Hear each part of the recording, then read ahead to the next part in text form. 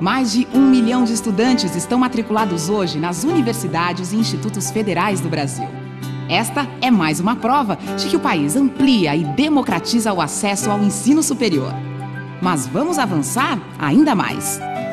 Este ano, todas as universidades e institutos federais terão de reservar 12,5% de suas vagas em todos os cursos para alunos das escolas públicas. Em quatro anos, serão 50%.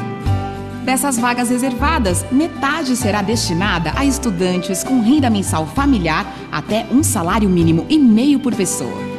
E todas elas deverão levar em conta a proporção de pretos, pardos e índios, conforme dados do IBGE. É lei e já está valendo para o próximo vestibular. Informe-se no portal do MEC. Ministério da Educação, Governo Federal.